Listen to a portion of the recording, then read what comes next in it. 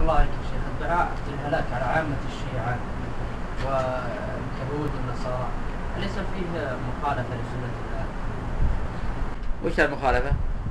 بقاء- إنما يهلكون إيه، بقاء ال- ال- اليهود إلى طيب والإنسان لو قال اللهم اهدي الناس أجمعين هل يجوز أو لا يجوز؟ أيضا هذه هل لا يجوز يقول اللهم اهد الناس؟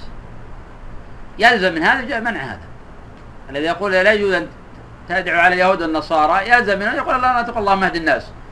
لأن الله قد أخبر بأنه في النار من كل ألف تسعة تسعمائة وتسعة واحد في الجنة فقط. إذا تقتضي السنة أنه لا يؤمن هؤلاء ولو دعوت الله لهم. هذا غير صحيح. لذلك الجواز يجوز لأن أحيانا يطلق العموم يراد به الكل. كما قال الله جل وعلا الذين قال لهم الناس إن الناس قد جمعوا لكم. ففي الأولى البعض.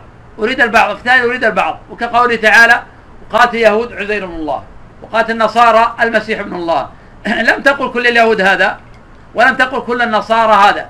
إنما هذا من إطلاق الكل وإرادة به البعض. بالتالي لا مانع من ذلك.